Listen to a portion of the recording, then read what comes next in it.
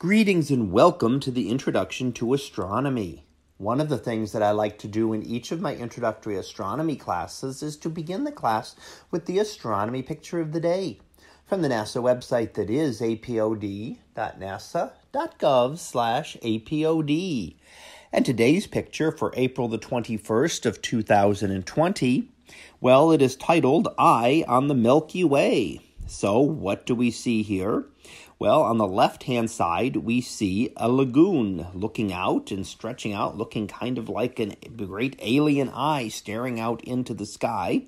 Within the lagoon, we can see the reflection of the stars from the sky there. So you can see a number of the stars reflected in the water of the lagoon. Now, this is taken down in Chile and we see a lot of the area, and in fact, it's noted that a lot of the area, that the rocky area around here, looks very much like regions of Mars that have been explored. So, as we study uh, the various planets, we start to learn that a lot of them are much um, uh, very similar to each other, and a lot of similarities that we can see between them. And in fact, a big difference between Earth and the other planets is the existence of life there. So when we look at very deserted areas, they look a lot like other parts of the solar system. Now, when we look towards the right hand side here we see our Milky Way. The Milky Way, known since ancient times as a diffuse patch of light, a glow of light in the sky, is now uh, known to be our galaxy as we see it from within. So, when we look at a galaxy, we're used to seeing beautiful images of great spiral galaxies with majestic spiral arms. However, when you're inside one of those galaxies, it looks a little different. And that's because you're not outside looking down on it, you're on the inside looking outward.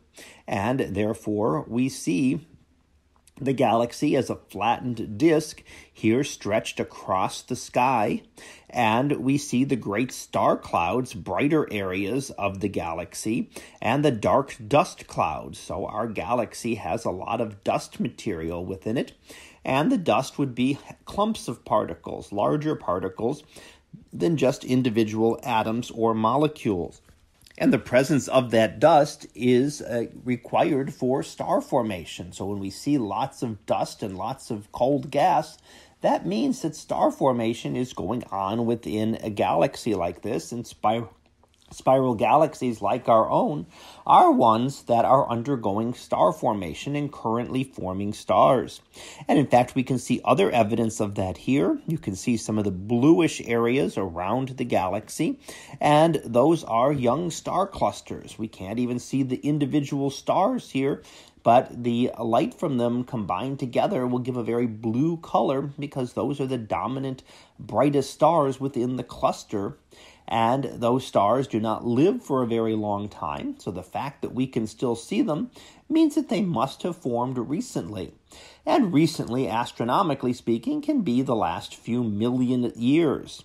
We also see some reddish areas, uh, some which are some hydrogen regions. So the pink regions around are hydrogen gas, which is hydrogen that has been excited by these same hot stars and caused to glow. So, combined, these are all signs of star formation and tell us that our Milky Way is still forming stars today as it was 10 billion years ago. Now, that can differ from other galaxies. There are many different types of galaxies that are not currently forming stars. And in fact, some of the biggest galaxies look like they formed all of their stars about 10 billion years ago and have not done anything since. So it's one of the things that we study in galactic evolution. Why do we have different, drastically different types of galaxies that have formed? Some currently forming stars, some not having formed stars for billions of years. And that is one of the things that astronomers study to try to learn how galaxies formed in the first place.